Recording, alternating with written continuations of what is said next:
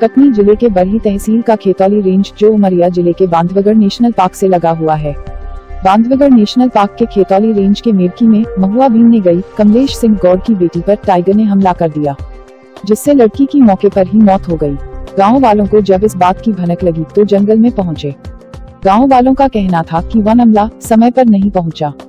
Bandhavgarh reserve tiger क्षेत्र में कई घटनाएँ हो चुकी है, जिससे पार्क संचालक द्वारा ऐसी कोई व्यवस्था नहीं बनाई गई। जिससे टाइगर रिज़र्व क्षेत्र के शेर गाँव की तरफ़ रुख न करें। गाँव वालों का कहना है, अलाई गाँव वालों ने वन विभाग के खिलाफ नाराज़गी जताते हुए मुआवजे की मांग भी की और इस दुर्घटना को लेकर आक्रोश भी जताया। नीरज सिंह, रघुवंशी की रिपोर्ट।